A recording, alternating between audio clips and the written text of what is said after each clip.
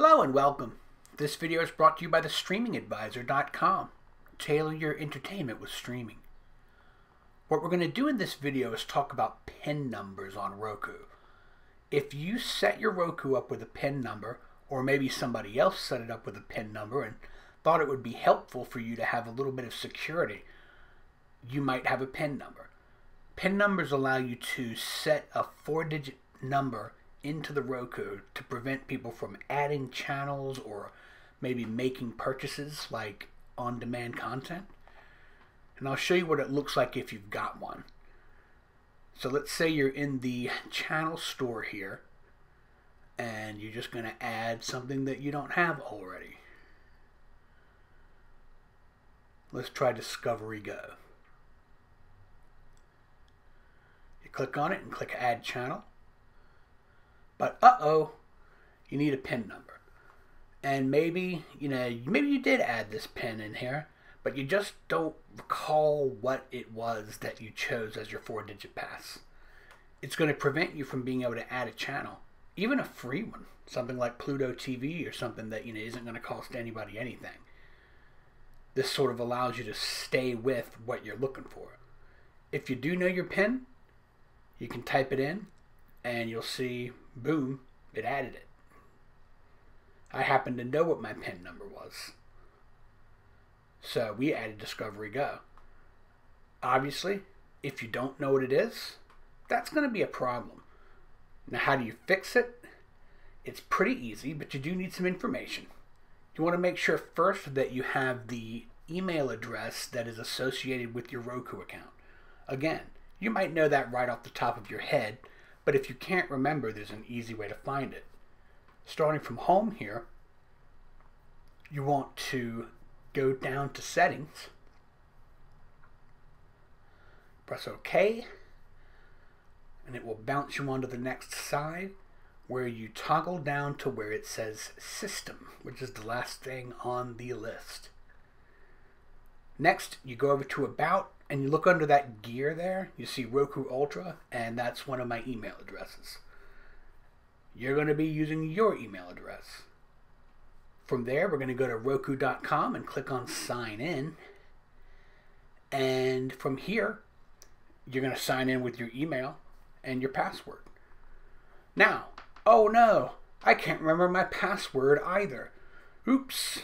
Well, that's a hassle, but not too big a problem to fix if you can, make sure you type in remember me and so on, and I am not a robot and submit.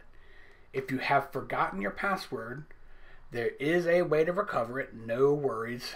Just click on forgot password down here and type in the email address that you looked up on your Roku. Tell it you're not a robot, type in that email, submit, and Roku will email you a link to reset your password. You just have to be able to get into your email. Now, if you don't know how to get into your actual email, that's between you and your email provider because I'm not going to do a video on, you know, 20 different email services. But hopefully you know how to get into your email and you'll be able to get on your way.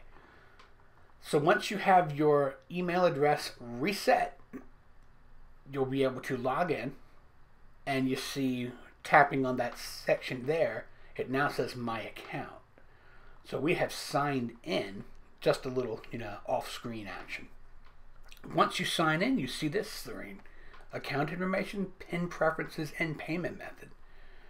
What you're going to do is choose the PIN preferences, and you see at the top, you have an option to change PIN, as well as this little list here of things that you can require a PIN for. If you like, if you found that you never needed to use the pin anyway, you can just choose a pin is not required for any purchases. That way, you'll never really have to worry about it again. I don't typically use a pin because I don't have, you know, a young kid changes things around much. If you do want to change your pin number though, all you have to do is click on change pin up there and submit it. And now your pin has been updated to whatever it is that you want it to be. You can make it as simple or as complicated as you want, but those four digits. It's just very important to note if you don't want to use anything like that, you can tell it so. You can you can require it for purchases, you can require it for adding channels, but you know, you can leave it be and just save those preferences. So, back on the Roku Ultra here, we're going to jump in and basically we're going to do the same thing that we did at the beginning of the video. We're going to re-add Discovery, I mean, it was HGTV Go. So we're going to jump into the streaming channels. Going to go back to new and updated. Oh, Discovery Go. Okay. My memory 43. My memory's starting to slip. Oh no.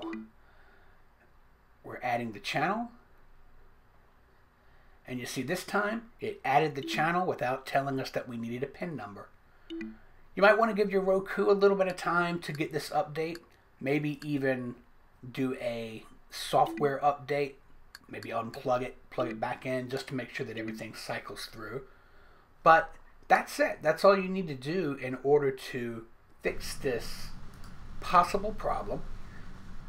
It can really be a headache if you don't know how to fix it, especially when you start digging in and say, you need the password for this, you need the password for that. So that's why we showed you how to sort of take care of all of those problems without breaking too much of a sweat. I hope you found this video helpful, and if you did, please subscribe to our channel and share this video with your friends.